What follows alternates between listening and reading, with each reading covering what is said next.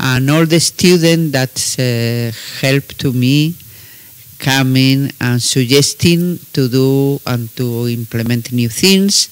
And so it's, uh, it's, it's really a great experience. So I, I am pretty sure that Rene will enjoy a lot doing this job for the Institute. Thank you.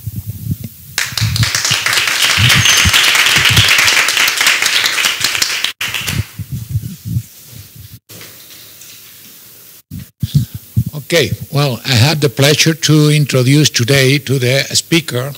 Um, you know, the speaker is a member of our department of uh, radio astronomy and uh, galactic structure department, and it is the only reason because I am here and this uh, and this. And well, there is another reason, another important reason. It's a very good friend of me, right? So everybody knows uh, Martin Guerrero. Martin Guerrero arrived to this uh, route to home, to our house, in 2003.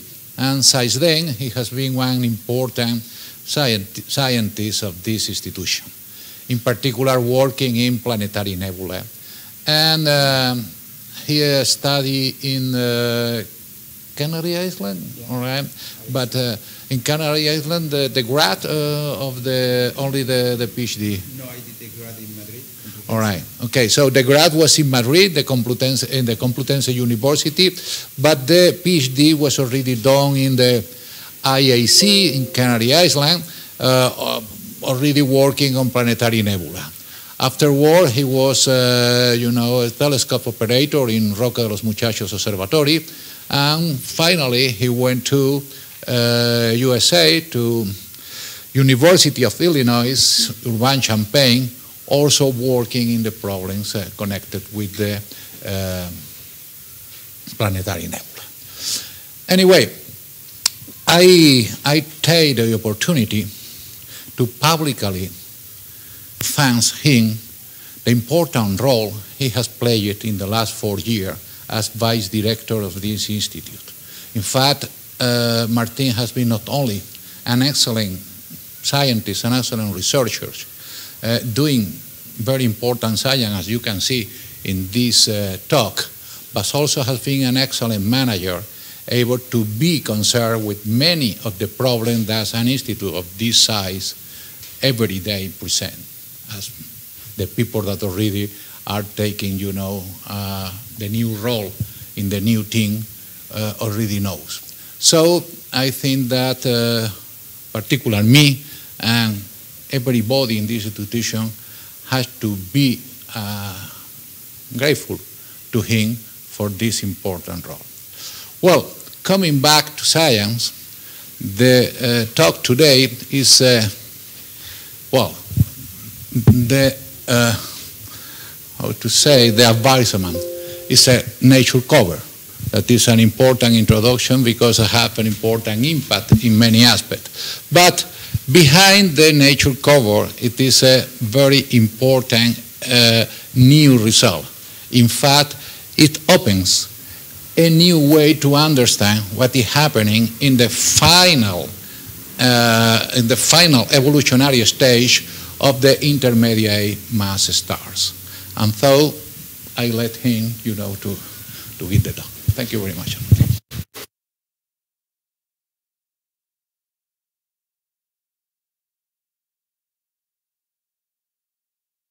When we started the, the streaming phase of the, of the seminars, and I really appreciate all the effort that you made for, for these uh, seminars. Well, I'm going to be talking today uh, a peculiar planetary nebulae, and then starting with this uh, cartel of, uh, of a movie. How many people have watched this movie? Hands up. Okay, so quite, quite a few people. It's a 1955 movie, masterpiece. Uh, it, it's about a generation of young people, teenagers. They don't find their place in the universe. And so they behave, they are rebel, they don't know why they, they, they behave this way. Today I'm going to be talking about a planetary nebula, uh, HUBI1. It's the planetary nebula there in the, in the corner. It's rebel, it's behaving bad, it's doing things that no other planetary nebula does, but there is a cause for this. So this is a work that I've made with some colleagues here from the IAA, Luis Miranda, Carolina Kehrig, uh, some other people, but particularly I like to mention uh, Ramos Larios, Gerardo, and Xuan Fang, who were former postdocs of mine here at the, at the IAA. So for those of you that have watched uh, A Rebel Without a, a, a Cause, do you remember where the final plot of the movie takes place? Do you remember the final um, uh, minutes of the movie? Yes. Actually, it happens at the Griffith uh, Observatory. Good memory. I have a prize for you. Uh, at, some, at some moment, these teenagers are taking on a field trip to the observatory, and there, a very formal um, professor of astronomy is giving a speech about the end of the Earth, of the solar system, of our sun, and he's saying that, well, we will become all dust and gas, which will evolve into space, and there is going to be nothing about us. So that's for these teenagers that were without a, a reason to, to be, it was really uh, dramatic.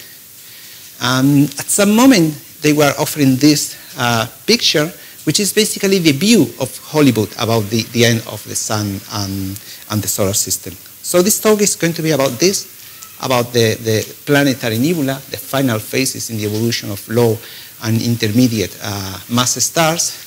If you have uh, significant mass, then you will explode as a supernova. But for those stars that they have low and intermediate masses, they will proceed in a different way. So at the very beginning, they are burning hydrogen at their cores. When the hydrogen is exhausted, they started burn, burning hydrogen in a shell, something like this, and then they go up in the red giant uh, uh, branch. So after this, they get the, uh, the possibility to burn helium at the center, so they go into a short phase, uh, the, the, horizontal branch here, and then finally they got this configuration where they, there is an, a core of carbon and oxygen. This is inner, those that don't have enough mass to, to press there so as to produce new elements. And then hydrogen and helium are going to be burning uh, here in, in two different uh, shells, and so they go up to this the red giant branch phase. Actually, hydrogen and helium is not they are not burning simultaneously. So for most of the time, it's hydrogen, and the helium shell is building up to a mass when there is a, like a, a helium flash. But it happens inside the star, so nothing really dramatic happens. So at the very end of this uh, evolution, they're going to shed their envelopes into space. The star is going to shrink up to the, the central core, which is very hot, so its temperature is going to increase. And then this increase in temperature is going to produce a higher flux of UV photon, which is going to photoionize the, the shell. So actually, planetary nebula, they are not like the, the big bursts in the universe. They are not gamma ray bursts that explode far away with the biggest explosion. They are not going to, to, to tell us what's the structure of the universe, what's the dark energy in the universe. So we are not going to ask important questions with planetary nebula, but they can teach us a lot of physics.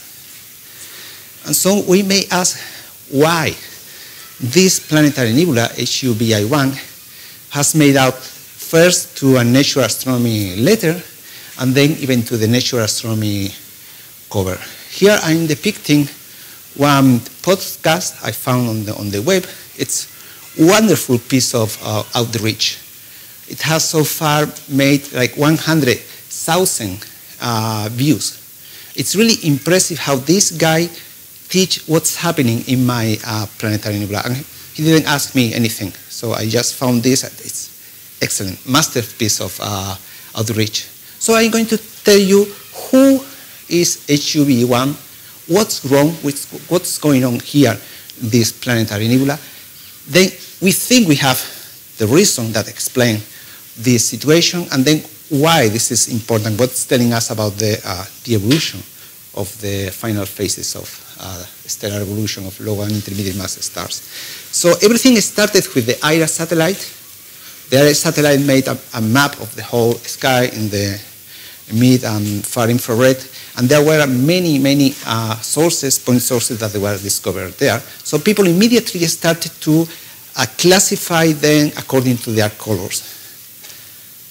Um, so it has this uh, telephone number, uh, this, uh, this source. Um, Andrea Preite Martinez compared the colors of already known planetary nebulae with sources in the IRAS catalog, and he found one source, this one here, IRAS 17514, that has colors similar to planetary nebulae. It's on the line, although it's kind of extreme. So it shows up in his table of true planetary nebula by colors as the source number 188. So this is called also PM 1-188. By that time, uh, Hu and Bibo two uh, Chinese astronomers were in Amsterdam. And Amsterdam in uh, Holland, they were involved in the uh, analysis of the IRAS satellite. So they uh, recognized it was an interesting source and they made the first uh, spectroscopic observation, um, photometric observation. So they found this is the spectral energy distribution in the infrared that can be described as, as a two temperature uh, black body. So there was a lot of dust there in this uh, source, and they found this spectrum.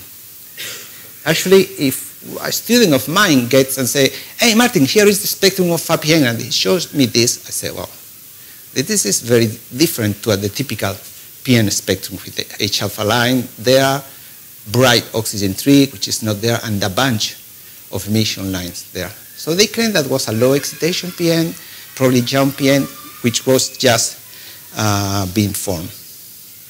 A bit later, uh, Don Pollacco, a great good friend of mine, and, and Hill, they made a new observation and they realized that the central star was a WC10 bracket square. So we, we classified the central stars of planetary nebula that have Wolf-Rayet features with the WC or WR with bracket square to make a difference with the real through a Wolf-Rayet star. And they claim that it, it's a double shell PN. So that's the, the best image that was in the, in the literature of this uh, PN. So they claim it's a bipolar uh, outer shell. Uh, I don't really see the bipolar there, but they claim it's bipolar with a low density and very low excitation. And this is the spectrum with just basically the Balmer lines and nitrogen 2 lines. And then the spectrum of the central region that they claim it was compact and very high density with a lot of carbon 2 or carbon 3 emission lines. Actually, we typically measure the density using the uh, ratio of the two of the sulfur 2 doublet there. But because there are carbon lines there, so actually this line were contaminated in the uh, innermost region. So actually the high density that they claim, it's, it's a mistake, it's, it's wrong, this is not true. Leuenhagen and Wolf-Rainer Hamann, they made the first non-LT model of the central star, and they recognized that it's a low temperature, kind of low terminal velocity uh, uh, wind. Um, they reclassified as a WC11. It, basically, everything is helium and carbon in the stellar wind of this uh, central star. And just a bit later, Miriam Peña claim that, well, this is a PN ionized by that cool WC star, which is kind of a star with low mass, which is evolving very uh, slowly. So that was the, the idea about this source by the end of the, by the 2005. And so here is going to start uh, our story. Uh, Luis Miranda and I decided to go through the uh, Olga Suarez spectroscopic atlas of post-AGB sources because there there were many um, low ionization sources that they may be at the very beginning, earliest of the formation of planetary nebula. And so we thought that they were telling us how PN were formed. So we started making uh, images of these sources in the Nordic Optical uh, telescope. So this is the DSS image of the, of the source. This is the spectrum presented by, uh, by Olga. And then we move to, to a summer night there at the Nordic Optical Telescope. And I said this is a dream of a summer night because by the time I was observing this PN, I was really dreamy. I was tired after a few nights uh, there. And so I got these two pictures. This is H alpha uh, nitrogen 2 pixels, uh, not very impressive. Also, the scene was like 0.7 arc second for this source. And when I saw the image, I said, well, uh, there is something wrong. I'm so sleepy that I have mistaken the nitrogen 2 filter by the oxygen 3 filter because the nebula is brighter inside and nitrogen 2 used to be brighter outside. I'm going to tell you later why. So I checked everything and actually, no, I was right. It was the nitrogen 2 filter. So if you make a combination of the two uh, filters with green as H alpha and red oxygen 3, you have something like this. And here is what, I'm, what is really striking about this PN. When you compare with other planetary nebula, independently of the temperature of the central star, if you use the same scheme of color, you always have the red, the nitrogen 2 outside, and everything else with higher ionization inside. But here is the opposite. And so we have to go to, to the fairy tales and say, well, Osterbrock, page 32 and page 33, is telling me that this is the ionization structure of a planetary nebula.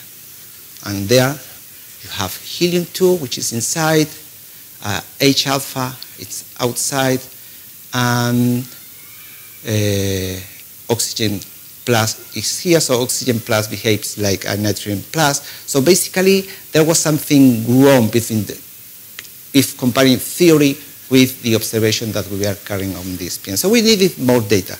Next year, summer, same telescope, same instrument, but now using the spectroscopic mode of, uh, of ALFOSC.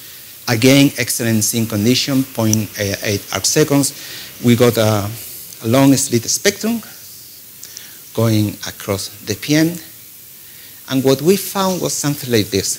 So you see here, oxygen 2, oxygen plus, is peaking inside.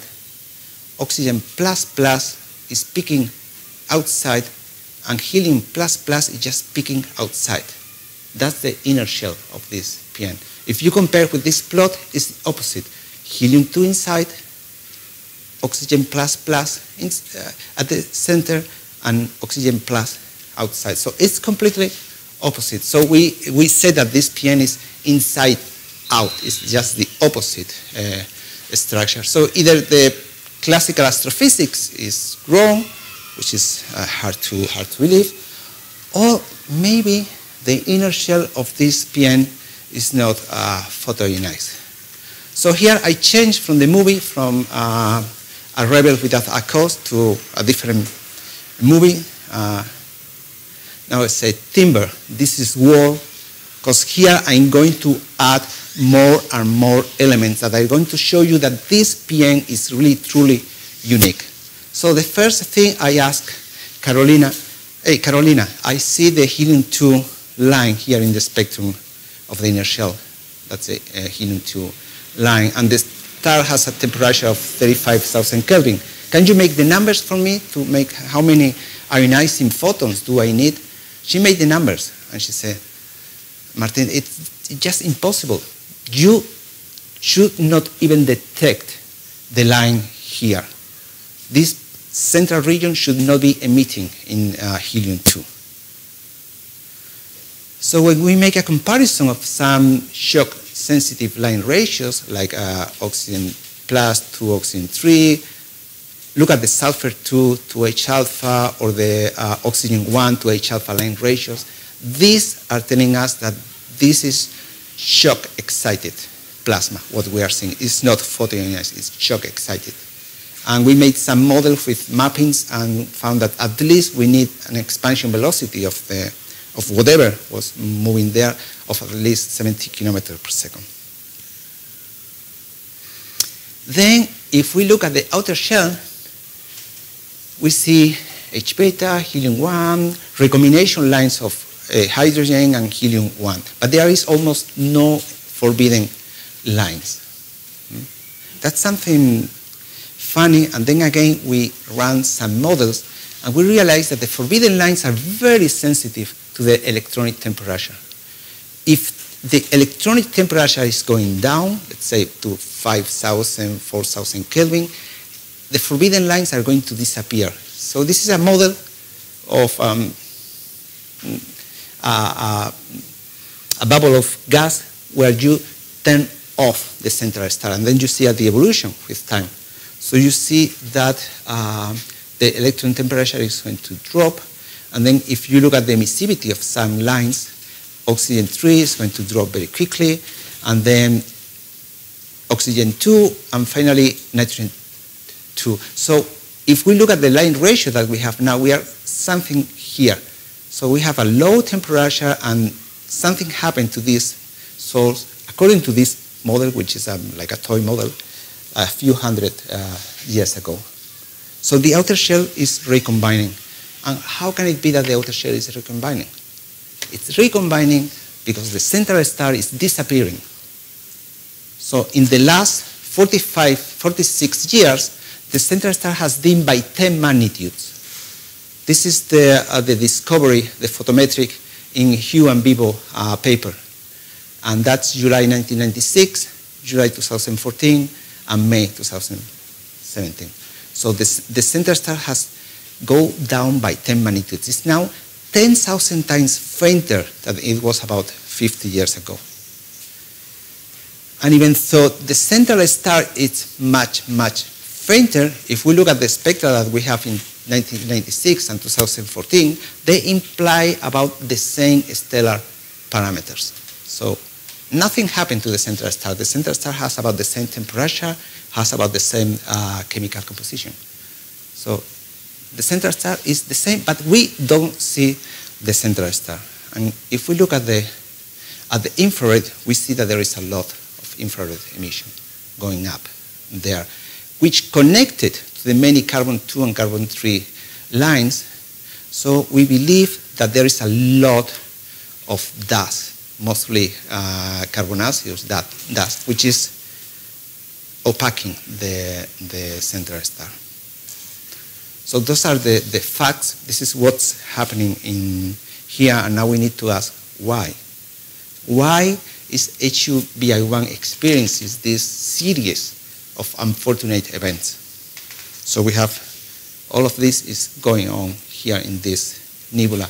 And our main hypothesis is that there is a carbon-rich high-speed ejecta which is absorbing the UV light from the central star. And this happened at least 50 years ago from the time that we have uh, data on the photometry of the, of the star. These kind of processes in planetary nebula, they are associated to um, thermal pulses, either final thermal pulses here or late thermal pulses or very late thermal pulses. So this is going to happen when the star has already left the, the AGB and the helium shell on the top of the white dwarf or the star becoming a, a white dwarf reaches a critical mass to produce a, a helium shell uh, flash. So depending on where this is going to happen, we call it a, an AGB final thermal pulse. So in this case, we have something like 20% of, of hydrogen. This is just when the star is leaving the AGB. We may have a late thermal pulse, which is when this is on the track, when it's burning in hydrogen on the, on the horizontal post-AGB track, or it may be a very late thermal pulse, when this is already on the cooling track of the, of the white dwarf. So we believe that because the chemical composition, we are probably here in the very late thermal pulse. And actually, uh, Luis Miranda made the calculation as for the age of the outer shell, and he found that it has something like 10,000 years, which is basically what you expect for a very late uh, thermal pulse, or what's called this is a, a born again episode. There are only four born again that are known. Those are Abell 30, which is the shell plus the ejection inside here. Abell 78, this is the nebula, and there is an ejection, and you see material there, kind of a disk with some polar ejection. Abell 58, which is the, the also known as uh, Nova Aquila 1919, and here again there is a kind of bipolar uh, ejection there, and the most famous of all these uh, sources, which is the born again uh, Sakurai's object. So Sakurai's object was um, a star which uh, brightened in the mid 90s. Uh, it was observed by uh, um, an astronomer, a Japanese astronomer, uh, who realized that there was a new star at the position where there was nothing else. At the very beginning, so they, they thought it was a slow nova, but then they realized that there is a planetary nebula around this. It's a very old planetary nebula. Um, they realized that this is the, the fourth born again uh, planetary nebula. So actually the literature in, the, in this topic has been rejuvenated in these 20 years because uh, Sakurai's object. So we are seeing the evolution in real time of this source uh, now.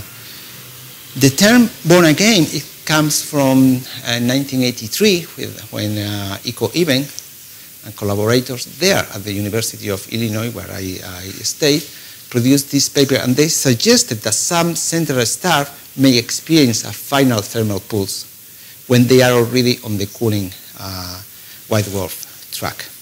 Of course, this is not the helium shell flash that happens when, the star is on the AGB. It has all the envelope on top.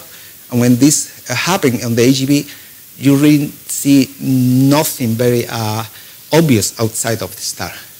But here, the thermal pulse is not restrained by the stellar envelope. So this is a, a very violent explosion. And in order to, to simulate this uh, explosion, you need to have powerful computers to, to build this simulation. And oh, sorry, it's not this one. It's these simulations. So it's an explosion which, which is happening on the surface of the star. So those are models made by Woodward and collaborators. They claim this is like they call global oscillation of the shell hydrogen. Gosh, injection and, and burning. So you have the star here is like uh, the central core of carbon and oxygen is transparent on this uh, models. And what you see here is the, the helium shell which is ingesting hydrogen from the top. So as the time proceeds, so there is um, more and more material which is ingested, temperatures rise up, and then there is finally a very uh, sudden explosion which is going to eject the very highly processed material outside of the, of the star. Typically, we see that the, the time for the star to recover, so the star ejects the material uh, at some moment here, then goes back to the AGB, so this is why we call a born again event. And basically, the star will recover very quickly its temperature. So we see the temperature of the central star of Abell 30, Abell 78, even Abell 58, are, those are hot stars. But in the case of HUBI1, we've seen that at least for 15 years it's about the same temperature. And so we realized, we ran some uh, codes, and we realized that when you have a low mass progenitor, they make loops here at this point of the uh, HR diagram. So actually what we claim is that we have seen a born again event which is associated to a low mass progenitor. Our calculations say that this is like 10% more massive than, than the sun. And now we see the star here at this point where its temperature is 38,000 Kelvin. So uh, those are the different mass loss rate. And so everything matches with what's typical or um, accepted for these kinds of, of events. So it, it occurred, and the star at that moment ejected something like 10 to the minus 5 solar masses, of which about half of this was carbon, pure carbon. Hmm? So that's the, the why there is something going on different here in HUBU, HUBI1. What are the implications for the stellar evolution? Well, the first thing that we have realized is that this kind of event may happen to our sun, to stars like our sun. And this is going to change completely the, uh, the statistics that we make about a again uh, event.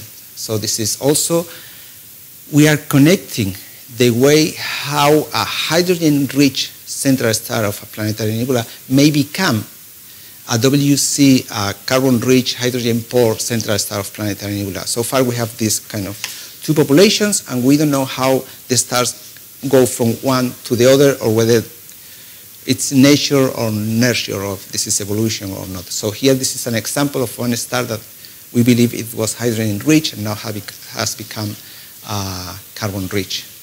So it's increasing the yield of carbon, that's a, just a bit.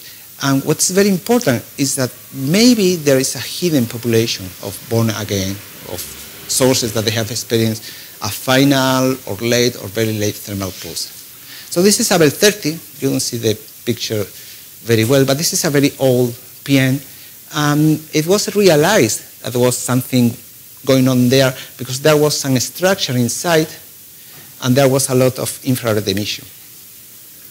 Of course, if you are a very bold PN, something like this, it's very difficult for you to hide a born again event. So if something happened to the central star, you immediately are going to catch it because those are low densities and everything is very transparent. But if you are something like this, a source which, which is younger and denser, uh, that shell is able to, to absorb more quickly the properties of the, of the again, and so maybe you are not going to be able to, to see this. And there are evidence that some, uh, that, well, basically that the planetary nebula whose central star have this WC square bracket uh, type have something different. First, they have higher turbulence and expansion velocities than typical planetary nebulae. Also, they have a different chemistry. They typically have larger carbon and nitrogen abundances. You see, those stars, they are really with, in a situation where they are different from uh, sources that they have a typical composition of, of, the, of planetary nebula. And this is telling us that in these events, there is an injection of kinetic energy and highly processed material, which is at some moment absorbed by the PN. We may not see the, the knots and the, the clamps there, but there is something different going on on this source. Uh, it has been also associated with the mixed CO chemistry of some planetary nebulae. In some cases, you see uh, that, the, well, actually you see that the WC stars, they have uh, dust which are both carbonaceous and oxygen rich. And this is something that has not been really well understood uh, so far. Orsola De Marco also found, found the same, although Perea Calderon claimed that this is something which happened to all, all PNs. So there is something going on there, which is, so the dog is waving the tail and something is, is happening. We are currently working on this uh, source. There are several works going on. The first thing we want to, to understand are the infrared properties of the ejecta, because this is going to tell us the amount of dust and the chemical composition of the dust. And this is going to tell us, it's going to provide details of the, of the ejecta, of the geometry of the ejecta, but also on the amount of dust and chemical composition, which is telling us details of the VLTP uh, event. So we've been recently awarded the DDT VLT VISIR time, and this is a work which Jesus Toala is preparing. We are also investigating the dust production in time. You have seen that the, we have spectra of the central star in different time, and you see that the star is dimming, but this is not, it's not a gray uh, obscuration. It, it's coming from the blue to the red. So it has a very peculiar absorption properties. And that's something that we want to, to investigate to see what are the properties of the uh, thick veil of material between the star and, and us. This is Gerardo Ramos Larios who is doing that.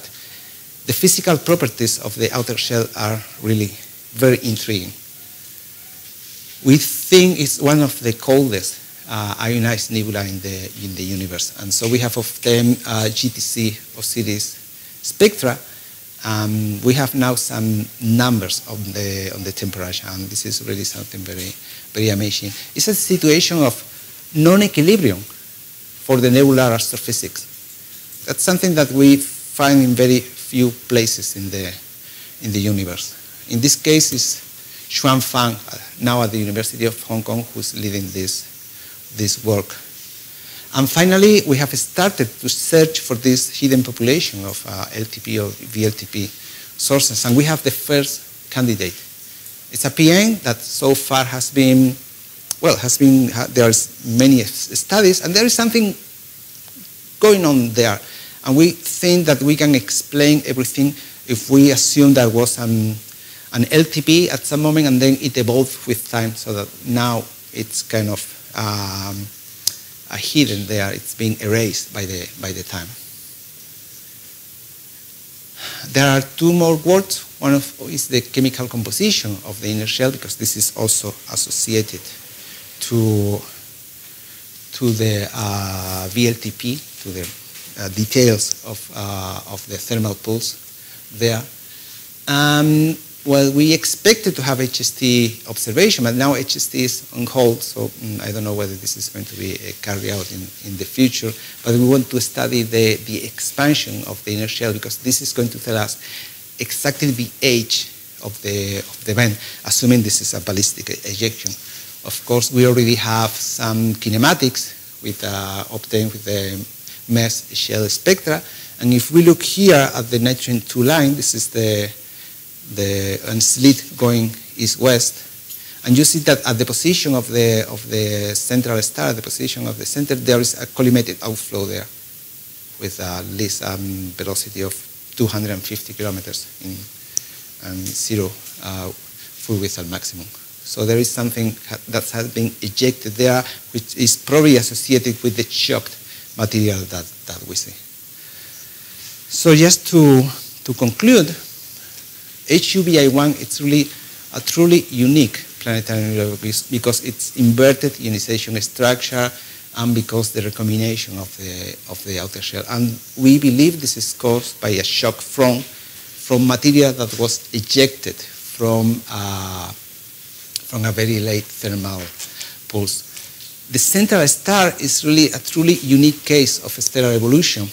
And we see the evolution in time of, of this star as we see also the evolution of the, of the nebula.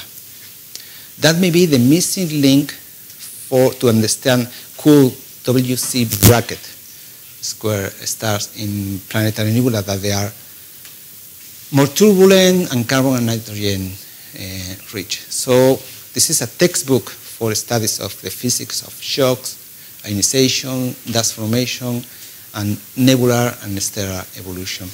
Uh, that's another cover that we sent to Nature Astronomy. We sent several ideas to them, and so we see here like a cardiogram, but actually this is the true luminosity of the helium flash during, the, during this, this event.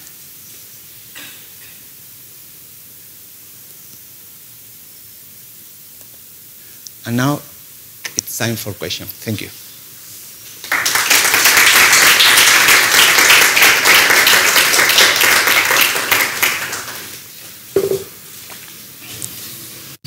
Questions, comments, claims? Enrique? That's good.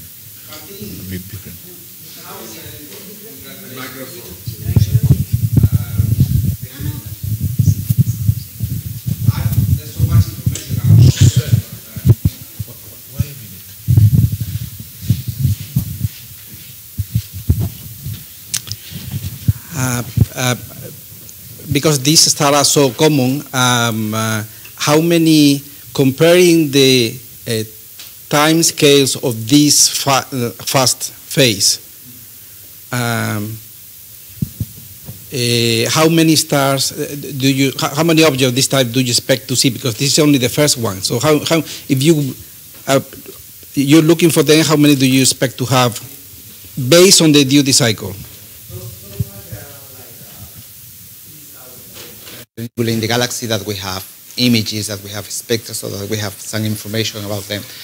And up to now, there were just four born again planetary universe. So this is the fifth. So this is telling you that really the, the duty cycle of everything it's very fast, maybe uh, 1,000, let's say 1,000 years. Plus, you have that this is not going to happen in all the central star of planetary nebula. You have to build the helium shell with the critical mass to explode during this time.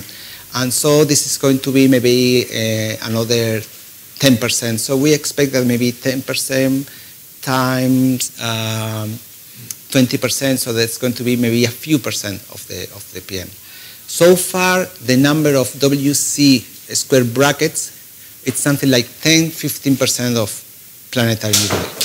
And so that it's going to provide you like um, um, a broad number of how many of those we can, we can expect. So if something like this happened early in the formation of the PN, maybe the signs have already been erased. Are going to be able to, to, see, to see that. So it's really depend on, on, the, on the evolution of the event and, and the nebula. The question is that before we found those just in very old, evolved sources, just because uh, where, when something happened no more than 1,000 years ago, because it was very easy to spot the evidence for this. So the evidence may be not that um, um, certain, but we need to look at the, the, the, the, details because maybe there is something going on there. It's very, very peculiar that, uh, and this is something that nobody can answer so far. When you look at these uh, events, they typically have a geometry of uh, something like a disk, equatorial disk, and bipolar ejection. And the bipolar ejection are, are very, very fast.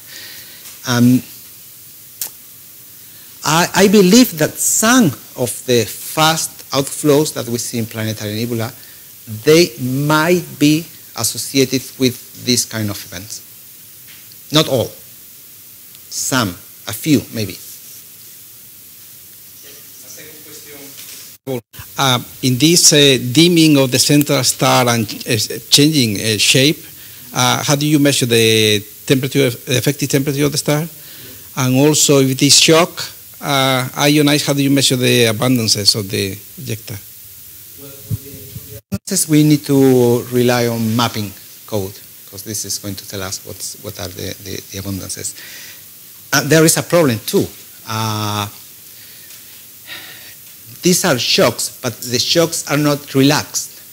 So we need to, to take this also into, into account. Christophe Morisset is making the, the numbers for me, and I know that there is um, a range of. That's why we want to go to the infrared to look to look at the dust, to look for carbonaceous uh, features in the infrared spectra, and try to derive the chemical abundances from different uh, points of view. Star is 38,000 plus. Oh, that's non-LTE models. Helge Todt from the Potsdam University used the POWR code.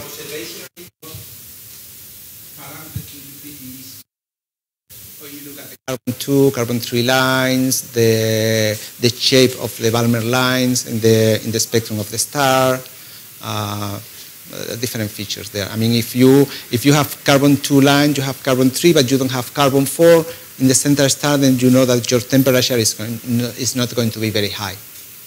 So those are the, the, the parameters that we are using.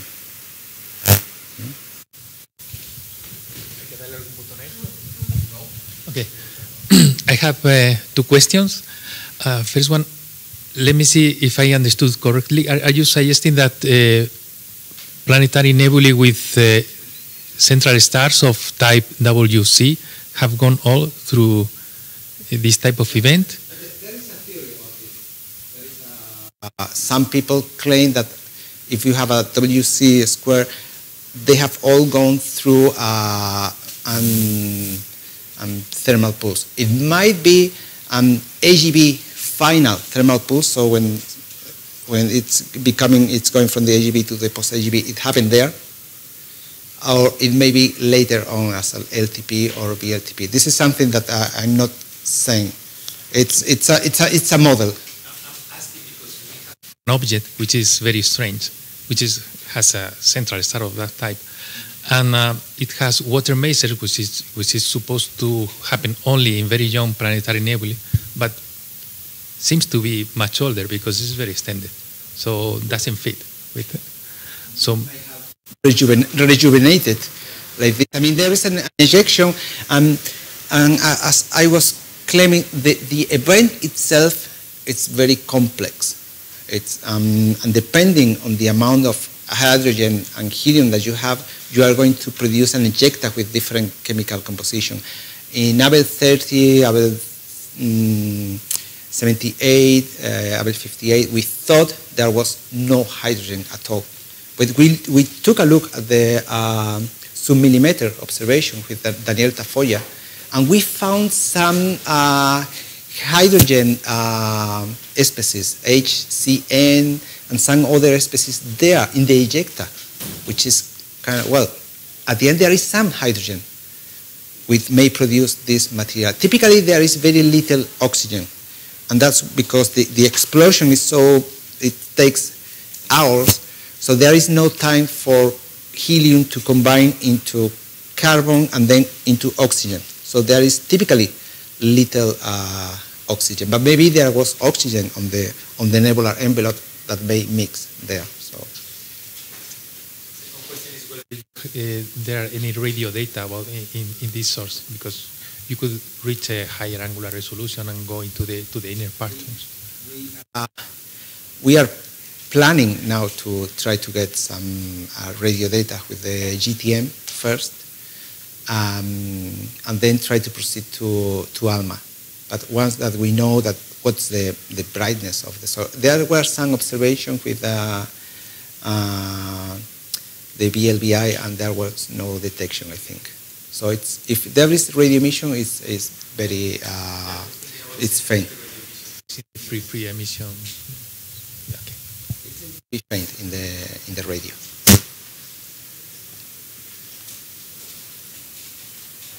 Thank you very much, Martin. Very nice talk.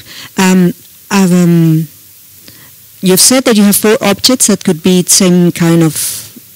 You, you've said that you have four objects that could be, rejuve- I mean, new bo- born again planetary nebulae. Born again planetary nebula is five with this uh, HUBI one. Yeah, yeah. Um, are those all the five objects, or four? I mean, four in this in this case, similar to this one, or there's no data available for them, or how they do compare? The other four, they have some similarities among among them. Also, I have studied those for for some time, and they seems to be like on, on an evolutionary sequence. Abell 30 and Abell 78, it seems they they experienced this born again event some something like 1,000 years ago. Abell 58, it was the Nova Aquilae 1919, so it, it's about next year is going to be 100 years. And Sakurai happened uh, just 20 years ago. So we have like an evolutionary sequence there for these uh, four sources. In this case, it's different in the sense that those sources, the central star have recovered very quickly to very high temperature, like 100,000 Kelvin. In, in, the case of uh, Abell 58, it was something like a few years after the the, the event, the Nova, uh, the Nova-like uh, event. Here, it's taking more time, so it's telling us that this is kind of a different population of central star which is experiencing this, this event. The others, actually, some of them, they are not even WC, they are a PG 1159, so those are different kind of stars. So they are also um, hydrogen poor, but it's, they don't have broad uh, features of Wolf-Rayet, but this is probably because the, the fast uh, evolution. Any other question? Enrique is today taking the first position. So how did you get the second initiation of helium? You have the, the core of carbon and oxygen, and when the star left the, the AGB, there is a shell of helium, and then there is another shell of hydrogen. So during the horizontal post-AGB track, uh, the star gets the energy from the burning of hydrogen and this burning of hydrogen is feeding the helium shell. So it may happen that at the end you have like 80% of the, in the helium shell, 80% of the mass necessary for a helium shell flash, and then nothing happens. So the star evolves and cools down. But in some cases, you get to this 100% of the mass that you need for the helium to start uh, burning, and this is going to produce the, the helium shell uh, flash.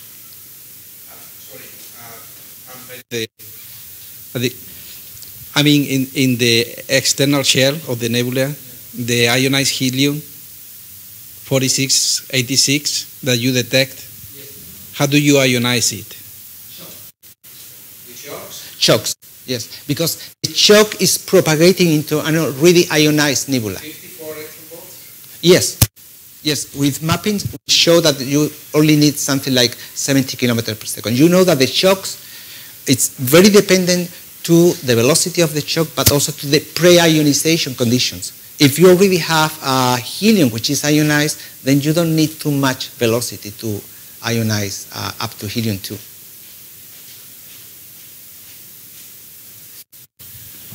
Other question? One. Okay, yeah. Last question is, okay, you say that, for example, one signature that should be associated to this kind of object is uh, really the, uh, you know, the, um, uh, how to say, the, Some bipolar. exact, some bipolar reaction. All right. So, uh, do you have another easily observable tracer for selecting candidates? One important is uh, infrared emission, dust. So these stars, they typically have some dust which is kept inside the, the shell. So the, the new PN that we have detected, actually you see the, the optical emission, the ionized emission, and then there is PAH emission inside the shell. And there, for some time, people were claiming that there was a veil of carbon, so the star was kind of blinking here and there. And there is also another feature that now I realize that sometimes you have uh, a central star with a temperature, and the electronic temperature or the, the excitation of the nebula is different. It, it does not match the central star. So you have a, a central star which is uh, hotter, but the nebula outside is not excited as for the. So basically, the, there is a difference between the, temper, the effective temperature of the central star and the Zanstra temperature that you derive from the nebular emission line. So sometimes there is a, a really different mismatch there, and this is telling you that there is non-equilibrium nebular uh, processes going on there. So this is telling you that maybe for some time the star disappear, the nebula evolve, and then the star is going back to, to a different situation. So that's uh, so dust, um, uh, turbulence, and, and so on, and also this kind of mismatch between the temperature and the uh, excitation conditions of the nebula. I suppose you have filtered some of the catalogs looking for that. Right. Yes. Okay, for the next talk. Uh, thank you very much, and thank you very much. Uh, we, uh, thanks again to the speaker.